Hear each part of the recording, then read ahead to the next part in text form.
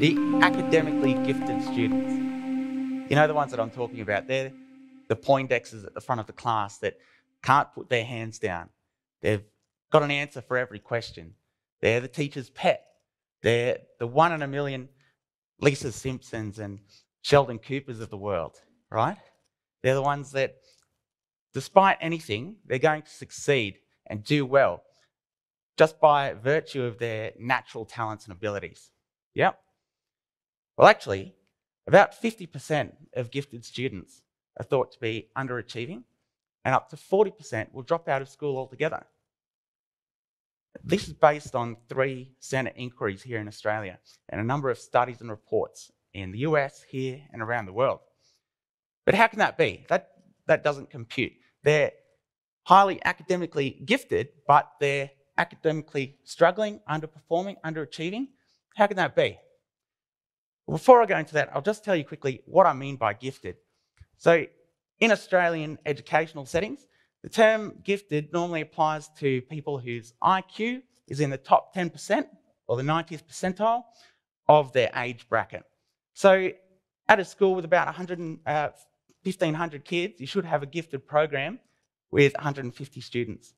In a class of 20 or 30 kids, you're going to have, on average, two or three gifted students in that class whether they have been identified or not. Now, I'm going to tell you about three young people, uh, and I want you to listen to their stories and have a think about maybe which one is the gifted one. So, firstly, we've got Ian. In year four, Ian hates school. He's angry, he's destructive, he's disruptive, he will throw books, he'll throw furniture, He'll argue with the teacher saying, This is stupid. I hate it. School's dumb. I want to get out. And it got to the stage where the school had him referred to a school for disturbed children. Luke, eight years old, his parents described his behaviour at home as normal. At school, it was a different story. He would hide under his desk and refuse to come out. Instead of doing his classwork, He'd roll around on the floor. Uh, he would burst into song loudly during class. Not necessarily words, but a tune. And rather than going to class, he would run around the school screaming. Needless to say, he was mainly achieving D's in the classwork that he did do, and so his teachers asked the parents to have him taken away for an assessment of ADHD. And Stephanie, she was a great student all the way through primary school. She had an academic record that she was very proud of. She was on good terms with all the teachers. Uh, she enjoyed violin, creative writing, drawing, painting. Well, when she got into year seven, she sort of hit an academic brick wall. She got a B.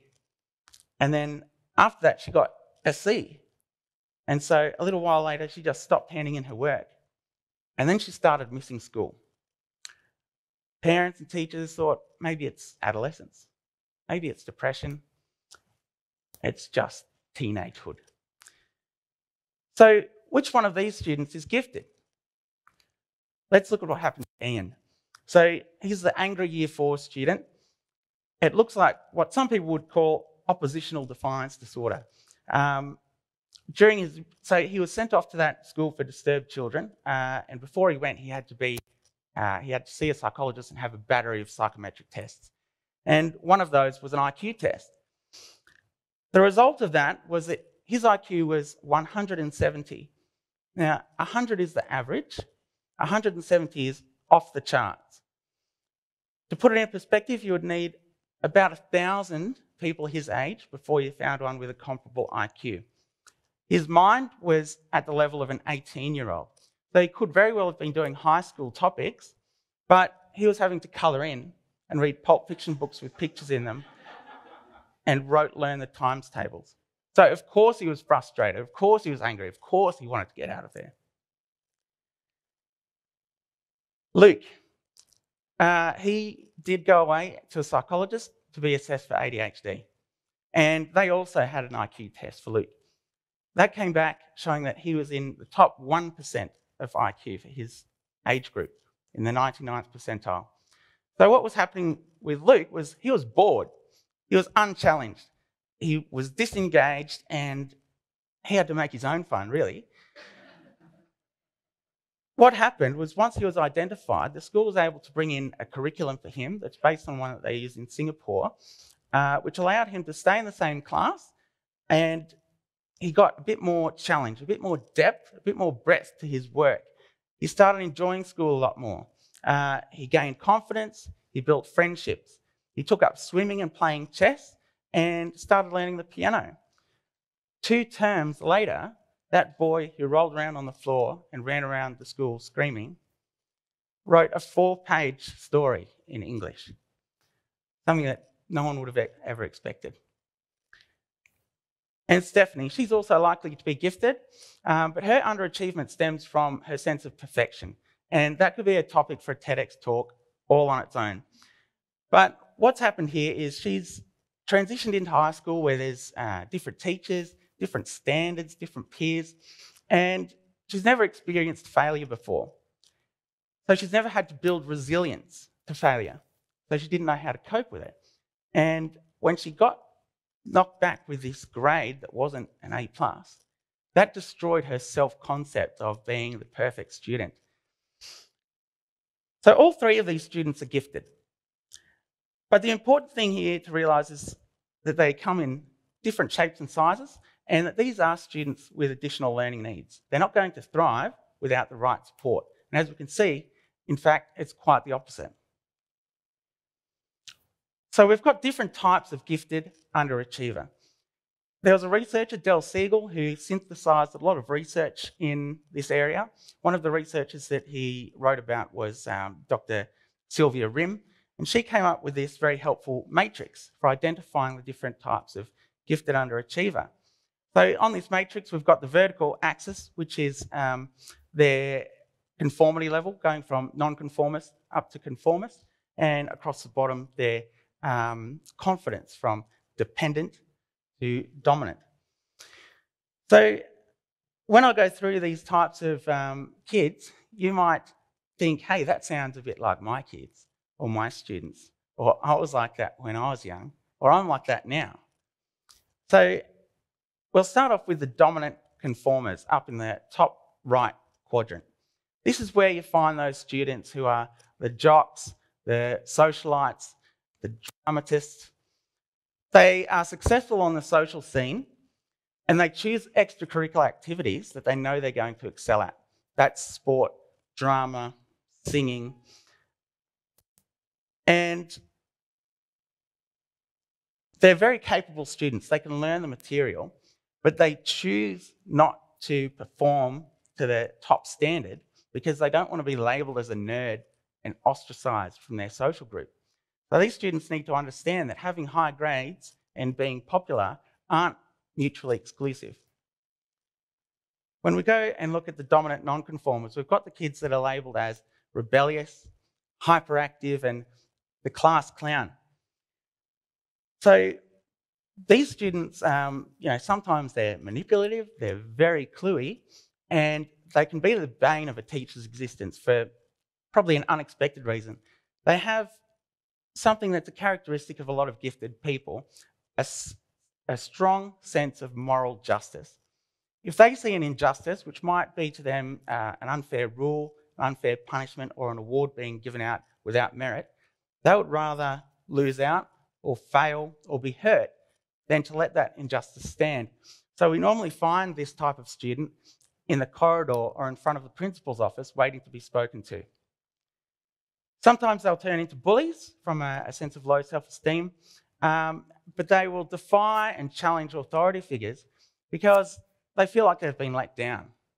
Okay, so as we slide along to the um, dependent side, we find the dependent nonconformers. And these students, they've just got too much on their mind, really, um, to be able to concentrate on school. School pales in significance to the things that are happening in their life. So we have Torn Thomas here in the middle. Torn Thomas has just got so much going on. He's got debating, he's got drama, he's got sports, he's got a big family. he just doesn't have the cognitive space to devote to school. Uh, there's too much other stuff sucking that up. Depressed Donna, she is so forlorn, probably ruminating on these big social issues, global um, problems that she probably can't do much about. But school is just a, such an insignificant thing to her compared to these bigger uh, issues going on that she can't or won't focus on it.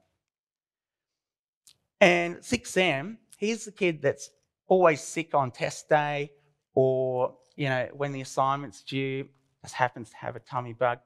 Now, his illness might be made up, or it could be a psychosomatic response. He's so stressed, so anxious, so panicky about being assessed that he makes himself physically ill. Up in the dependent conformist is poor Polly. Now, she might be a victim of bullying, she has low self esteem, and she's constantly seeking validation and reassurance from um, adults and teachers. Passive Paul is another interesting character who he's essentially just given up. School hasn't been giving him what he was promised. He's not getting the challenge, he's not getting the rigor. So he does the bare minimum he needs to do, and you won't get anything else out of him. He just wants to pass and get out of there. And perfectionist Pearl, this kind of student, she has a crippling, um, a crippling fear of failure. They thrive in, a, in, a, in an organisation that's got rigid structure and organisation, but you give this kind of student a an abstract thought or an open-ended assignment, and no, just not happening. These kinds of students can very quickly devolve into um, a Sick Sam or an academic Alice. And these types of students are like Stephanie that we saw earlier.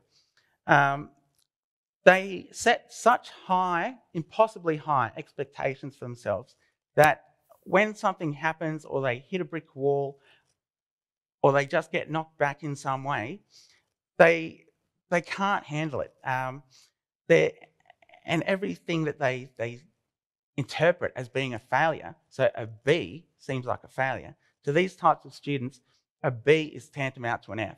And they start to think, if I can't be perfect, if I can't get A pluses all the time, then I may as well fail. I may as well just not try. If you don't try and you fail, then at least you've got an excuse. Well, I didn't do that assignment. But if you put in effort and it comes back and you only got a B, well, then that's on you. That that can destroy their whole self identity. And these students need to build resilience, they need to build confidence in themselves and learn coping strategies. So, so what? Who cares? Um, why am I here talking to you about this? Well, hopefully, I've challenged your idea, this concept of giftedness, um, that they're not these walking encyclopedias that are rare unicorns out there. It's 10% of the population. And I can tell you, they're hiding amongst us, okay? Um, they're, they're not um, figments of your imagination. They could be the people that you least expect. It could be you. So, what are we going to do? When you come across a person that's like Luke or Ian or Stephanie, don't be so quick to pathologize. Don't just say, this kid's got issues with discipline this kid's got ADHD. We're going to send them off and um, and pathologize this um, this behaviour. What we need to do is say, well, why are they behaving this way? What are they lacking in their education? What supports do they need? Maybe they need more challenge. Maybe they need more rigor. Maybe they need more depth. It's just uh, not getting through to you. It's not um, engaging. So, um, what we need to do is engage them. How do we find out what they need? We ask them. These are individuals, they're young people. They know what they need in their education, they know what they need in their social life, they know what's missing. So let's talk to these, uh, these young people because when we identify what they need and when we put the supports in place, they will thrive, they will flourish, and they will go on to do great things. Thank you.